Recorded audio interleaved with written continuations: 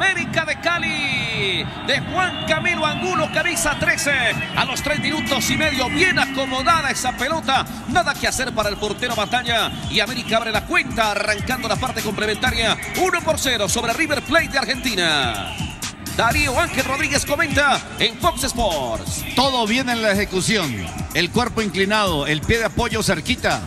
Y después, con el empeine, le mete esta comba, superando la barrera sin compromiso para el arquero Batalla que estaba muy lejos. Claro, él estaba cubriendo, era su palo.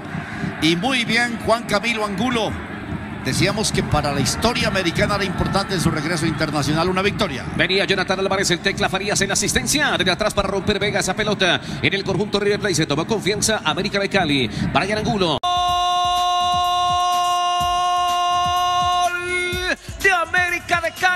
El Tecla Farías que le dejan esa pelota, remata de pierna derecha y adentro la bola para el segundo americano. Se tomaba confianza, lo decía usted, lo decía usted Darío, que quería más América de Cali. Pues ya tiene el segundo, 10 minutos más después del primero a los 58. América tiene dos, River cero. Comenta Darío Ángel Rodríguez en la pantalla de Fox Sports. Brian Angulo en el saque largo de banda.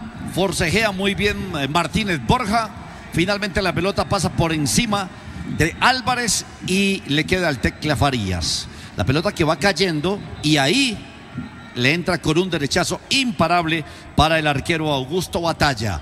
Muy buen gol de Ernesto Farías y el Tecla feliz por hacerle un gol a River, pero sobre todo por hacerlo con América.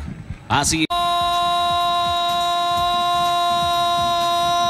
de River Play, gol de Leandro Vega, número 28. El frentazo solitario pareció cómodo y el balón adentro para el descuento. River ya tiene uno, América tiene dos. Darío Ángel Rodríguez en la pantalla de Fox Sports. Perdieron la marca los dos zagueros centrales. Cortés muy adelante, el que viene atrás es Martínez, que viene cerrando. Harold Martínez. No aparece Erner porque Erner tenía la marca de Alario el envío muy bueno del Piti Martínez y el cabezazo que no lo esperaban del recién ingresado. Lo que pasa es que cuando hay variantes nominales, también hay que hacer los cambios de marca. Entonces, a ver, ¿quién salió?